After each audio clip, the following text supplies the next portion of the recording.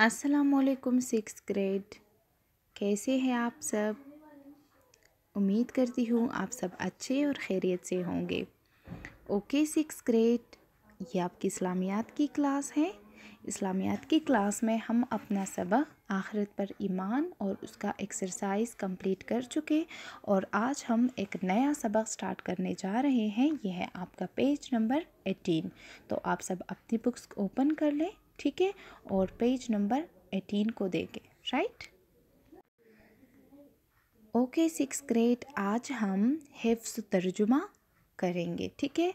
आज हम कुरान मजीद की सूरह सूरह अलम नशरा की पढ़ाई और उसका तर्जुमा और मफहूम पढ़ेंगे राइट तो मैं उसको जो है वो पढ़ूँगी, आप सुने, ठीक है? और फिर हम उसका तर्जुमा पढ़ेंगे और साथ में उसका मफहूम और थोड़ी बहुत एक्सप्लेनेशन करेंगे राइट ओके अब बिसमीम अलम नशरह लक सदरक व वज़ाना अन का विज़रक अल्लज़ी अन कफ़दार दहरक व रफ़ाना लक ज़िक्रक फ़ इन मालसर युसरा इन मालसर युसरा फ़इज़ा फ़रग़ फ़नसब व इला रब्बिक फ़रग़ब तर्जुमा क्या हमने आप नबी के लिए आपका सीना नहीं खोल दिया?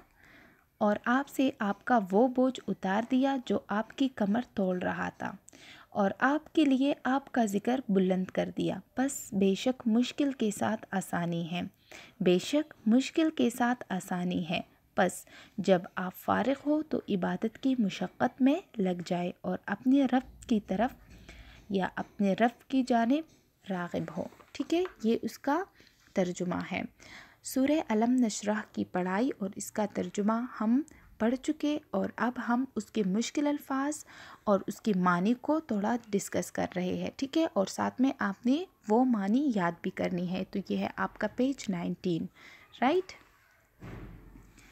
नशरा हमने खोल दिया, वजाना हमने उतार दिया, अनकज़ा तोड़ दी थी अलसरे मुश्किल, फनसब बस मुशक्क़त करें। सदरक आपका सीना, विजरक आपका बोझ, जहरक आपकी कमर, युसरा आसानी। फ़रगब पस रागब हो जाए। ठीक है? सो ये आपके अल्फाज है, ठीक है? और इसकी जो मीनिंग्स है, आपने उसको अच्छे से याद करना है, ठीक है? हम उसका मफहम अब थोड़ा सा डिस्कस कर रहे हैं। तो मफहम ये है कि ये मक्की सूरत है। सबसे पहले तो आप जहन में रखें कि कुछ सूरतें नबी करीम सल्लल्लाहु अलैहि वसल्लम पर मदीने में और कुछ मक्के में नाजिल हुई थी। सो ये मक्के में नाजिल हुआ। सो इसलिए ये मक्की सूरह है, ठीक है? सो ये मक्की सूरत है। ऐलान नबूत के साथ नबी अकरम सल्लल्लाहु अलैहि वसल्लम के लिए मुश्किल दौर का आगाज़ हुआ। अहले मक्का यानी मक्का के रहने वाले जो आप सल्लल्लाहु अलैहि वसल्लम को इज़्ज़त व एहतराम की निगाह से देखते थे, आप सल्लल्लाहु अलैहि वसल्लम के दुश्मन हो गए। वो आप सल्लल्लाहु अलैहि वसल्लम और आप सल्लल्लाहु अलैहि वसल्लम के साथियों को ऐज़ा पहुँचाने, ऐज़ा मीन नुकसान ज़र तकलीफ़ ठीक है, पहुँचाने का कोई मौका हाथ से न जाने देते। थे इन हालात से आप सल्लल्लाहु अलैहि वसल्लम परेशान हो जाते। इसी वजह से आप अल्लाह ताला ने आप सल्लल्लाहु अलैहि वसल्लम को तसल्ली देने के लिए सूर्य अलम नशरा नाजिल की, ठीक है?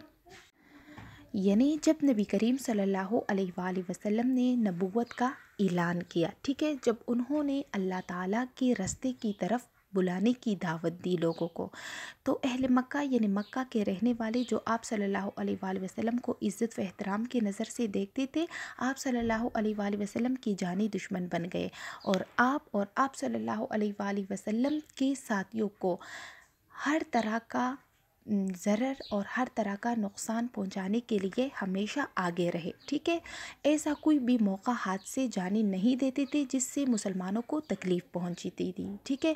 तो मुसलमानों की इन हालात को देखकर, मुसलमानों की इन तकालीफ़ को देखकर जब आप सल्लल्लाहु अलैहि वसल्लम परेशान हो जाते तो इसकी वजह से अल्लाह ताला ने आप सल्लल्लाहु अलैहि वसल्लम को तसल्ली देने के लिए सूरह अलम नशरा नाजिल की, ठीक है? इसी सूरत में आप सल्लल्लाहु अलैहि वसल्लम को अल्लाह ताला ने, अल्लाह ताला तसल्ली दे रहा है और इत्मीनान ठीक है, और सुकून दे रहा है, ठीक है? सो इस सूरत में अल्लाह ताला आप सल्लल्लाहु अलैहि वसल्लम को इत्मीनान दिला रहे हैं कि आप सल्लल्लाहु अलैहि वसल्लम परेशान ना हो। ये मुश्किल दौर बहुत जल्द ख़त्म हो जाएगा और इसके बाद आप सल्लल्लाहु अलैहि वसल्लम को अमन व सुकून मैसर होगा और अनकरीब यानी करीब ही, जल्दी ही आप सल्लल्लाहु अलैहि वसल्लम का रब आप सल्लल्लाहु अलैहि वसल्लम को वो कुछ अता करेगा जिससे आप सल्लल्लाहु अलैहि वसल्लम का दिल खुश और मुतमिन हो जाएगा। इब्तिदा में नबी करीम सल्लल्लाहु अलैहि वसल्लम को मिलने वाली दर्जजील तीन नेमतों का ज़िक्र किया गया है। शर सदर, बोझ सी निजा, निजात और ज़िक्र की बुलंदी। अच्छा तो यहाँ पर तीन चीज़ें जो है वो मेंशन है। सबसे पहले शर सदर, यानी आप सल्लल्लाहु अलैहि वसल्लम का सीना खोल दिया, ठीक है? सीना किस तरह खोल दिया? यानी आप सल्लल्लाहु अलैहि वसल्लम का सीना इलम के लिए खोल दिया, फराह कर दिया। ठीक है? ताकि आप सल्लल्लाहु अलैहि वसल्लम को जो है वो ज़्यादा से ज़्यादा इलम मैसर हो। ठीक है? बोझ सी निजात। इसका मतलब यह है कि नबी करीम सल्लल्लाहु अलैहि वसल्लम को जो परेशानियाँ या जो तकालीफ या जो उनके ऊपर जो बोझ थे, जिनसे वो जो है वो परेशान होते थे, वो कम कर दी जाएँगे। ठीक है?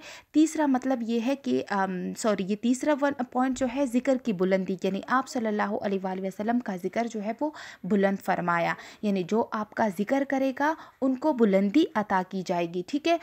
मतलब ये है कि आप सल्लल्लाहु अलैहि वसल्लम का ज़िक्र जो है वो ज़िक्र की आम, आम, मतलब जितनी भी उसकी फ़जीलत है या जितना भी जो है वो जो भी उनका ज़िक्र करेगा उसको जो है वो ज़्यादा फ़जीलत मैसर होगी। ज़्यादा फजीलत जो है वो दी जाएगी। तो आप वसल्लम की ज़िक्र जो है, उसको क्या दिया गया? उसको बुलंदी अता फरमाई गई। ठीक है? तो इन तीनों के बारे में इसी सूर्य में जो है वो बताया गया है। ठीक है? आखिर में आप सल्लल्लाहु अलैहि वसल्लम को तलकीन फरमाई गई है कि सख्तियों का मुकाबला करने के लिए आपको इबादत व रियाजत से तोानाई और चुनाचे आप सल्लल्लाहु अलैहि वसल्लम हर तरफ़ से बेनियाज होकर अपने रब से लो लगाए। इसका मतलब ये है, इन दोनों पैराग्राफ में यही बताया गया है कि जब आप सल्लल्लाहु अलैहि वसल्लम कुफ़ार और दूसरे वो लोग जो आप सल्लल्लाहु अलैहि वसल्लम को तकालीफ़ पहुँचा रहे थे तो जब आप सल्लल्लाहु अलैहि वसल्लम परेशान हो जाते तो अल्लाह ताला ने इस सूरत में आप सल्लल्लाहु अलैहि वसल्लम को तसल्ली देने की जो है वो और इत्मीनान देने की, के लिए ये सूर नाजिल फरमाए, जिसमें आप सल्लल्लाहु अलैहि वसल्लम को ये इत्मीनान अल्लाह ताला दे रहे हैं कि आप बिल्कुल परेशान ना हो। ये मुश्किल का जो दौर है, ये बहुत जल्द ख़त्म हो जाएगा। आपका जो ये बोझ है, जो तकालीफ आपको पहुँच रहे हैं, वो ख़त्म हो जाएँगे, आपको अमन और सुकून मैसर हो जाएगा, ठीक है? और अनकरीब आप सल्लल्लाहु अलैहि वसल्लम को वो सब कुछ अल्लाह ताला ता फरमाएगा, जिसे आप मुतमिन होंगे, ठीक है? सो आप सल्लल्लाहु अलैहि वसल्लम का जो सीना है, वो इलम के लिए कुशादा कर दिया गया, और आप सल्लल्लाहु अलैहि वसल्लम का बोझ जो है, वो कम कर दिया गया, यानी अल्लाह ताला ने आपके लिए आसानियाँ पैदा की और आप सल्लल्लाहु अलैहि वसल्लम का ज़िक्र जो है वो उसको बहुत ज़्यादा फजीलत दी गई। तो इन तीन चीज़ों के बारे में आप सल्लल्लाहु अलैहि वसल्लम को इसी सूरत में बताया गया है, ठीक है? तो आपने इस सूर्य का जो तर्जुमा है और साथ में उसके मुश्किल अल्फाज, ये आपने अच्छे से याद कर करने हैं, ठीक है? तब तक के लिए आप अपना ख्याल रखें और नेक्स्ट वीडियो में मैं आपको जो है वो इनशाला इसका जो दूसरा सूरत है, हम उसी के बारे में पढ़ेंगे, ठीक है? तब तक के लिए अपना ढेर सारा ख्याल रखें अल्लाह हाफिज़।